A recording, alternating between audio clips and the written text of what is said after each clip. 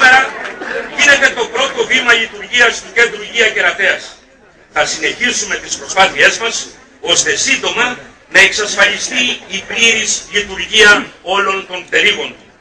Ο εξοπλισμός και η στελέχωση και λειτουργία όχι μόνο του Κέντρου Υγείας, αλλά και της πτέρυγας αποθεραπείας, αποκατάσταση.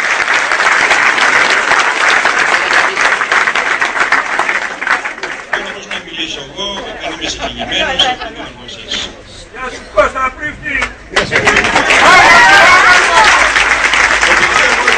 Καλό στο λόγο, αλλά μόνο στα έργα, θα μου επιτρέψετε να διαβάσω τις σημειώσεις που έχω.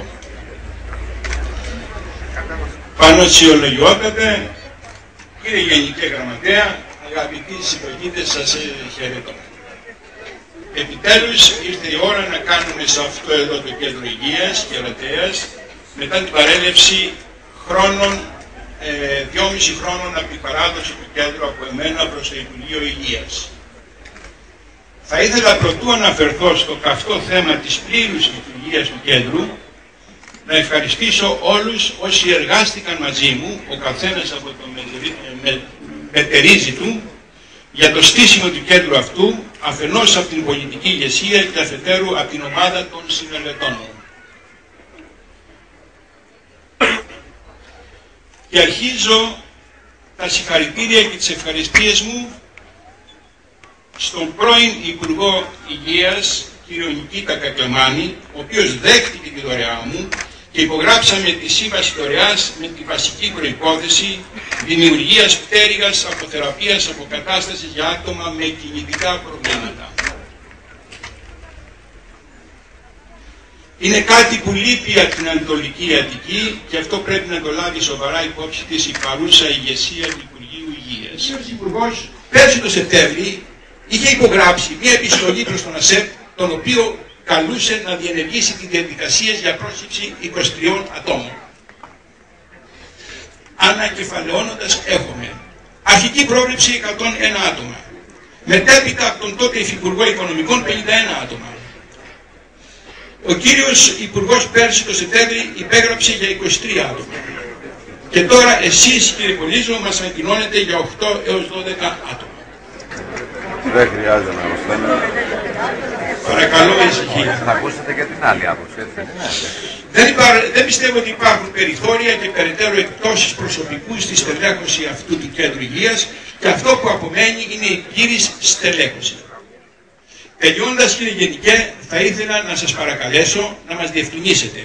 Πρώτον, πώς μπορεί να λειτουργήσει ένα κέντρο υγείας με τρεις πτέρυγες, ήτι πτέρυγα κέντρο υγείας αστικού τύπου, πτέρυγα πρώτων παιδιών και τέλος πτέρυγα αποθεραπείας αποκατάσταση διάτομα με γεννητικά προβλήματα, συνολικού εμβαδού και των τριών πτερίγων 2.350 τετραγωνικά μέτρα και δυναμικότητας 101 ατόμων με μόνο 8 με 12 άτομα.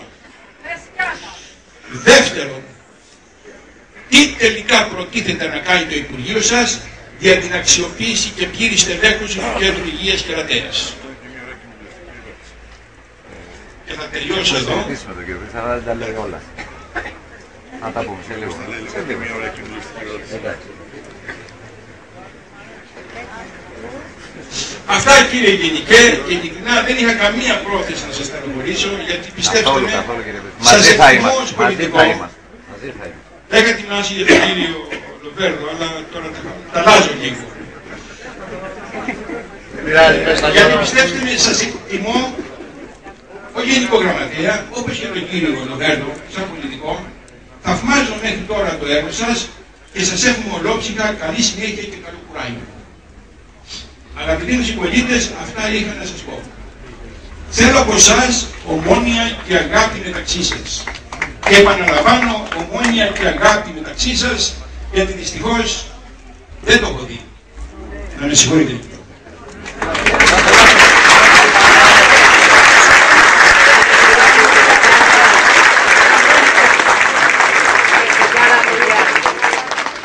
σας ευχαριστώ που μου δώσετε την ευκαιρία να αποδείξω επράκτος την αγάπη μου για σας σε αυτή εδώ την περιοχή της Αγίας Τριάδας κάποτε μικρούς, μικρός φίλος απρόβατα.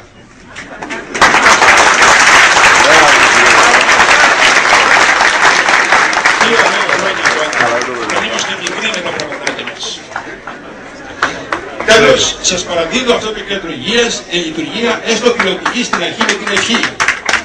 Δεν ξέρω τι ευχή να κάνουμε. Το βρήκα. Ακρίαστο να σας είναι αυτό εδώ το κέντρο υγείας. Σας ευχαριστώ και σας ευχαριστώ.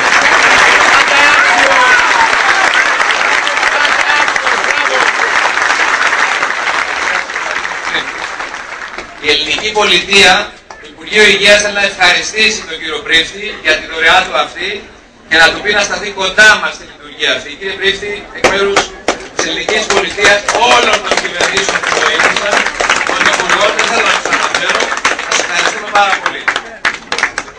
Δέχομαι την, προσ... την πρόκλησή σας, λέγοντάς σας ότι θα συνεννοηθούμε με τον κύριο Παπα-Νικολάου και εγώ θα προτείνω να αναλάβετε διευθυντή αυτού του κέντρου υγείας, αν έχετε το κέφι να το κάνετε. Σε κάθε περίπτωση, σε κάθε περίπτωση νομίζω ότι αυτό που είπε και ο Δήμαρχος και ο κύριος Πρίφτης είναι ότι κάναμε μία και μόνο συνάντηση, οι τρεις μας. Έτσι, με τον κύριο Παπα-Νικολάου 4, τον οποίο θέλω να τον ευχαριστήσω. Μία και μόνη συνάντηση. Και βάλαμε τη σημερινή λειτουργία. Και είπαμε σε αυτή τη συνάντηση, κύριε Δήμαρχε, κύριε Διευθύνοντα Σύμβουλε, κύριε Πρίφτη, αγαπητοί φίλοι, ότι αυτό το κέντρο υγείας γρήγορα θα στελεχωθεί πλήρως. Το είπαμε αυτό. Ξεκινάει τη Δευτέρα η λειτουργία του με τα εξωτερικά ιατρία, με τα μικροβιολογικά εργαστήρια, με την ε, μονάδα Μπράβο, μπράβο.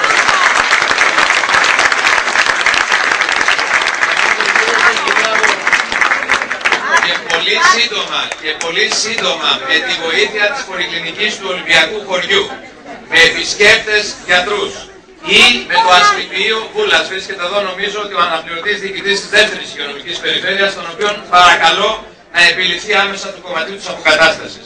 Και επίσης, μαζί με τον χαιρετισμό του Υπουργού μου, του Υφυπουργού και όλων των στελεχών του ΕΟΠΗ, θα σας πω ότι έχουν συνεχθεί με τον κύριο Βουδούρη και τον κύριο Σπυρόπουλο γρήγορα να μεταφερθούν οι υπηρεσίες οι υγειονομικές του ΙΚΑ σε αυτό το στολίδι, έτσι ώστε πολύ γρήγορα μα- μαζί με τον εξοπλισμό που ο προηγούμενος υπουργός από ό,τι έμαθα είχε φροντίσει, στο εξάμεινο να μπορέσουμε να το λειτουργήσουμε πλήρως. Ποιος είπε υπουργός ήταν Σας προηγούμενος; καλώ, σας, δεν έχει σημασία καμία.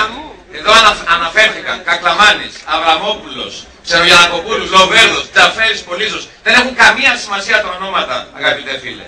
Το θέμα είναι ελληνική πολιτική και ελληνική δημόσια διοίκηση να συνεχίζει αυτά τα έργα. Και εγώ υπόσχομαι, κύριε Πρίφτη, κύριε Δήμαρχε, κύριε Παπα-Νικολάου, κάθε μήνα, μία φορά, να ελέγχουμε το έργο της λειτουργίας αυτού του κέντρου εδώ, επί τόπου. Να ακούμε τους κατοίκους, να ακούμε τα προβλήματα. Γιατί τέτοια έργα θα έχουν και προβλήματα.